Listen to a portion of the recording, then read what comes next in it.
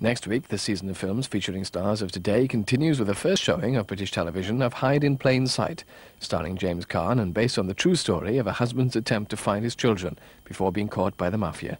That's next Monday at 9.25. From 6.30 tomorrow, Breakfast Time reports from around the country assess how the TUC's day of action is likely to affect you. David Basnett justifies the stoppages. Employment Minister Tom King defends the government's tough line. There's a report on the new kits teaching blind children how to recognise everyday smells. And Anthony Andrews is guest of the day on Breakfast Time tomorrow from 6.30. Now we stay with the cinematic theme as Barry Norman introduces Film 84.